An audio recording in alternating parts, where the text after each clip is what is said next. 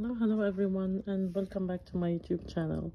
Today i want to show you this book doorways and openings by catherine anderson. I came across this book by chance on youtube and when i googled it i found a video by the author on youtube and i just fell in love with the book the first minute of seeing those beautiful images. It's mainly on doors so I've received it this week and I wanted to show you.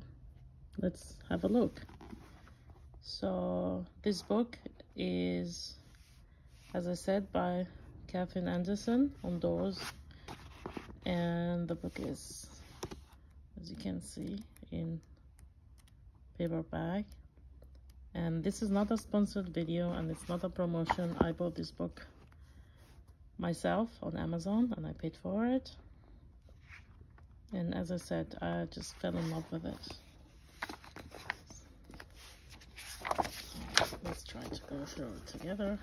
Again I'm shooting with my phone so I hope you forgive me for any blurriness or any um, unclear bits of, of it.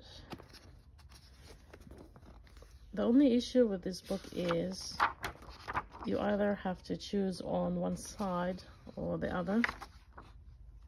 Because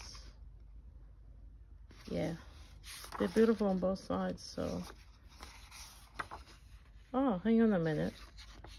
Actually it's duplicated the same one on the back so somehow I thought when I looked they're different. But if you look together quite not different it's the same door but in saying that, if you used the door, you can use it both sides, but yet you can't keep another copy of that door. So if you feel in love with the door, it is just me.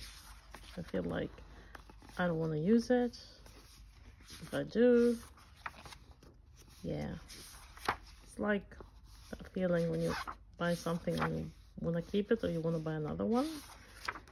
And maybe a confession to make. I did buy two of this book. Because I felt like it's too beautiful to be used and if I just buy one I'm not gonna use it. I know myself. So the idea that there is a spare one sitting there it's me to be able to rip a page out of a book and actually use it. I also bought uh, the other book she's got actually plenty of books when I googled her and went to her website. Um, I got uh, Doorways 2 and I'm gonna show it to you in a following video. I'm gonna have to check there if the images are duplicate or it's just uh, on one side only. Oh, see, some are not really duplicate. So that means, so I was right start that if, yeah, completely. So I really was right when I've seen it. The first instance was, oops, if I use one image, I'm losing the other. And it's true. So it was just the first few pages that looked like it was duplicate. So again, that would be one issue for me is if you use one door, you're to lose the other. So which one to pick? That would be that big thinking. And if you use one, you're losing the other. And yeah. I guess if it was one-sided, it would have been just better because you're only using one door at a time and not losing another one.